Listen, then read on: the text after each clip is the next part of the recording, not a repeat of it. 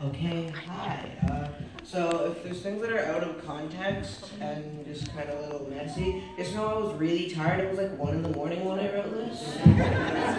So yeah. Um, the first time I've I ever talked about God, I was about three years old. I was in the back seat of the car driving along with my mom when suddenly I said, "Mom, God misses me." My mom said, "Yeah." Oh, really? And I said, Yeah, and he misses you too. My mom was shocked because up until that point, we had never talked about God in our house before. That is where my journey towards God began. I started going to church here in Black Creek at age six. We heard about Awana from Jasmine Hogg. Um, where is Jasmine? She's not here. Um, and I started going to Awana. One day, Chad Hooker, the commander of our Awana Club, asked if any of the kids wanted salvation and told them to come see him after club if they did.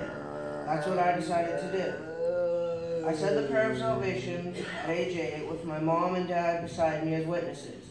I went I went to Camp Bob, met Cam McCauley. Hi Cam.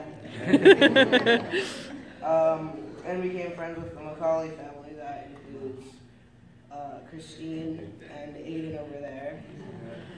Grant and Ken Um, upstairs. Yeah, Grant? And Ken. Right away there. And Ken. Yeah. Shout out to Ken too. And fine.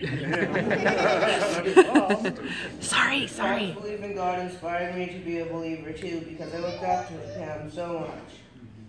And I knew that Aiden, and I saw Aiden and a lot of my friends here are getting baptized. And I've been promising my parents that I'd get baptized since I was like 10. so I'm like, I'll do it next year, I'll do it next year.